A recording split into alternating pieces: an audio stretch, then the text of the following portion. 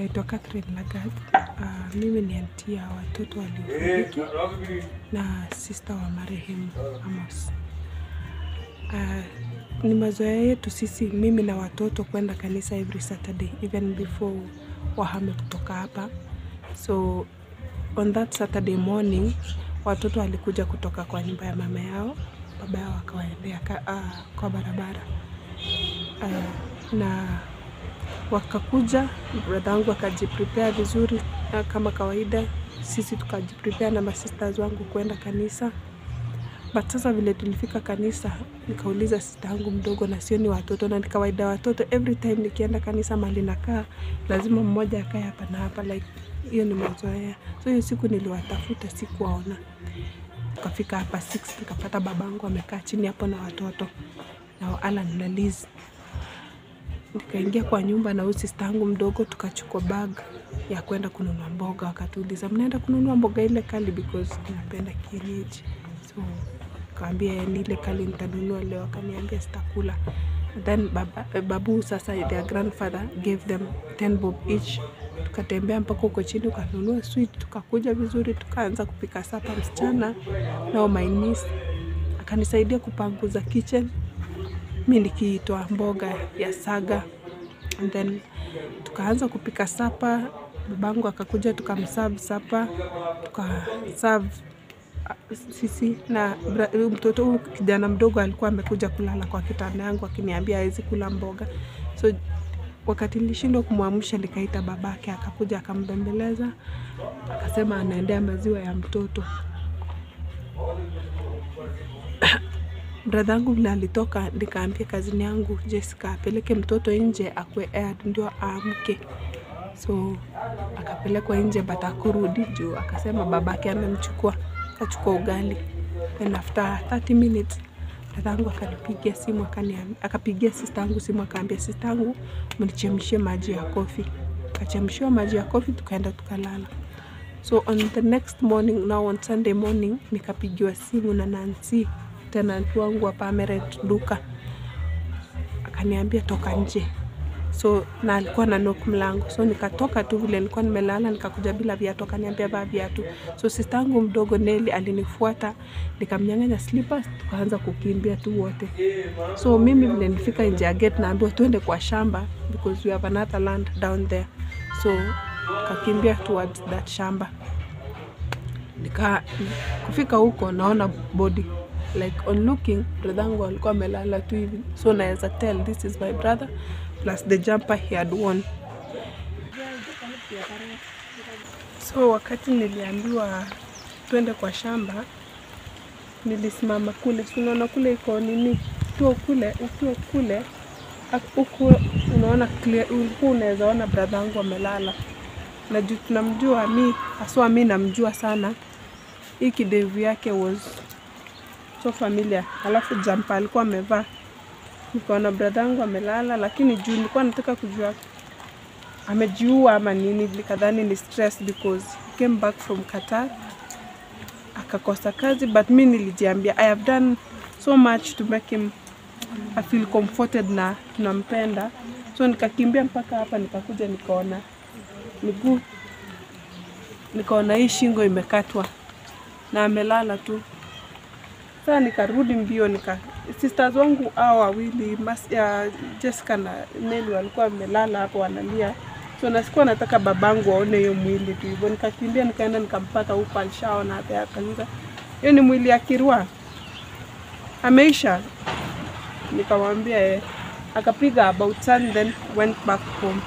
So sijui kwa nini mtu alikuja akaamua kumrusha hapa juu clearly hawakumuua hapa, hawakuua bradhangu hapa na hawakumuua kwa nyumba.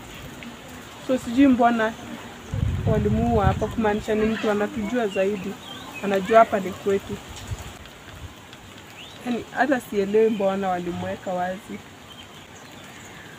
sielewi, yani sijaelewa kwa nini mpaka saa hizi like the other option, hata wangeweza kumrusha hapo kwa barabara basi wangeweza kumrusha hata hapo kwa barabara because kama walikuja the only way is either pass here or there.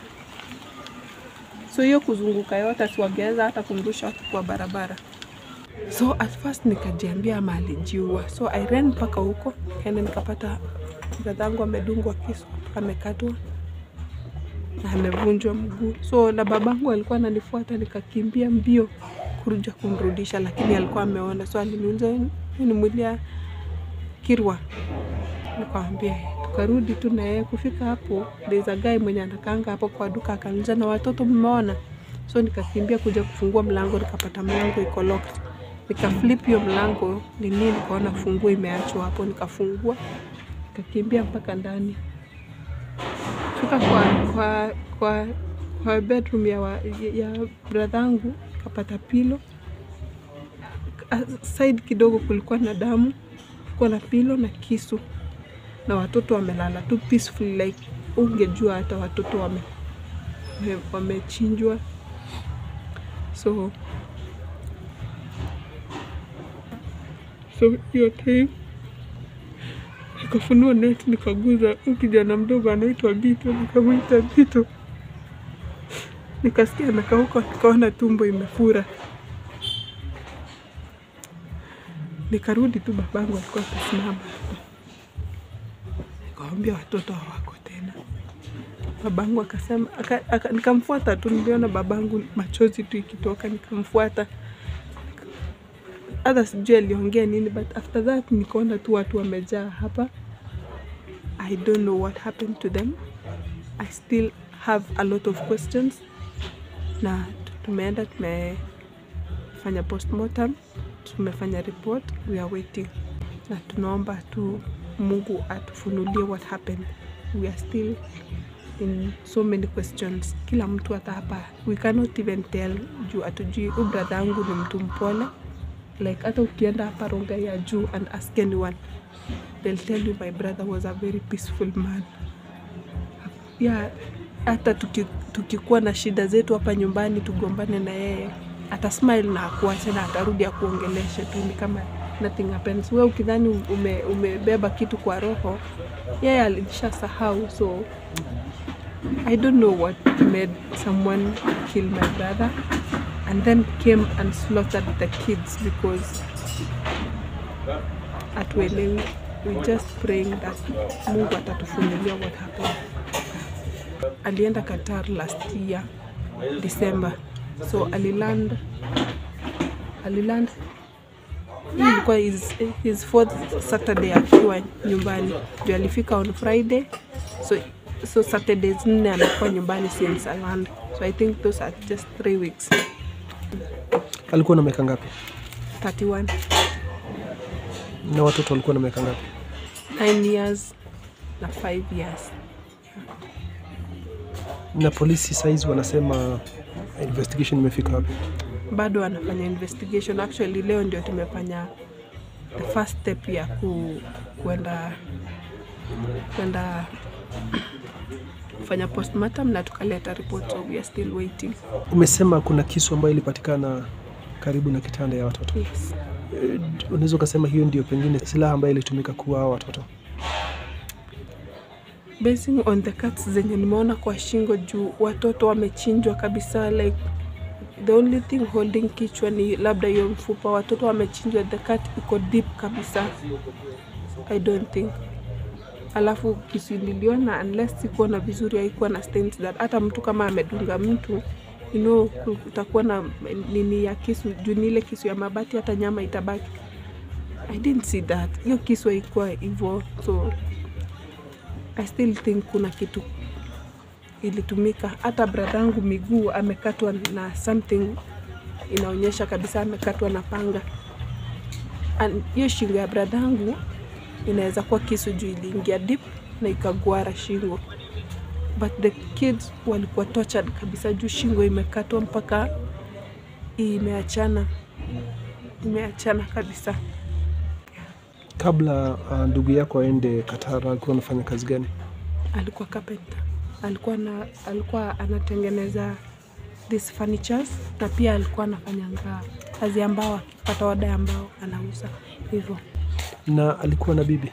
Yeah, alikuwa na mke, mama ya watoto. Sasa alikuwa anakaa tu kwa hii nyumba so, lakini alienda wakati bradhangu aliland. I, I don't know what happened between them, lakini mama anasema alimpigia akamwambia anahama, so they had some issues. I don't know what issues because sikuweza kuuliza brother yangu ni nini ilifanyika, wala nikauliza sister in law, so alihama tu. Na hakuna mtu hata mmoja alisikia kelele ama anything hiyo usiku. that night hata i don't know what happened hatukusikia anything na hata ukiangalia nyumba there is no commotion like vile watoto walilala walilala tu vizuri. Hata hiyo damu iko kwa sehemu moja tu chini like ni kidogo tu but kitanda ndio imesoka na damu na pillows. Nilipata hivi nilifungua mlango nikapata kiko hapa.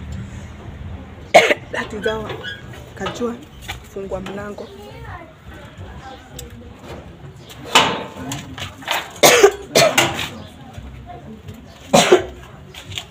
kuna hizi stains za damu kidogo